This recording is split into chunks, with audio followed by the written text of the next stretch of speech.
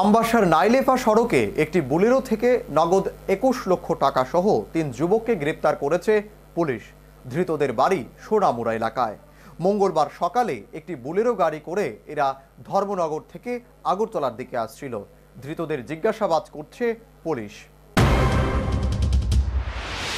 এক বা দুই লক্ষ নয়, একুশ লক্ষ টাকা নিয়ে ধর্মনগর থেকে সোনামুড়ার উদ্দেশ্যে রওনা হয় তিন যুবক।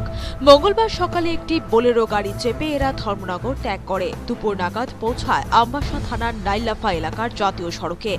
কিন্তু তাদের ভাগ্যে ছিল নির্মম পরিহাস।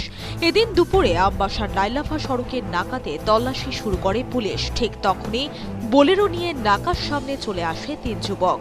পুলিশ কিছু বলার আগেই গাড়ি ঘোরানোর চেষ্টা করে বোলেরোর চালক। বিষয়টি নজরে পড়ে কর্তব্যরত পুলিশের। সন্দেহ তীব্র হওয়ায় পুলিশ গাড়ি আটক করে এবং সঙ্গে সঙ্গে তল্লাশি চালায়। তল্লাশির সময় পুলিশের চোখ চরক কাজ হয়ে যায়। গাড়িতে থাকা বস্তায় টাকার বান্ডিল দেখতে পায় পুলিশ। তৎক্ষণাৎ দেরি না করে কর্তব্যরত পুলিশ বোলেরো কর্ডন করে নেয়।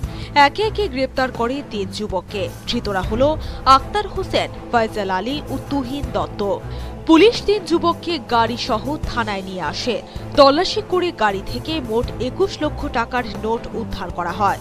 যুবকরা কেন বা কোথায় থেকে এত টাকা এনেছে এই সম্পর্কিত তথ্য জানার জন্য তাদের টানা জিজ্ঞাসাবাদ শুরু করেছে তদন্তকারী পুলিশ। তবে এই রহস্য এখনও অনুসন্ধানকারী পুলিশ খোলসা করেনি। Bureau report, news vanguard.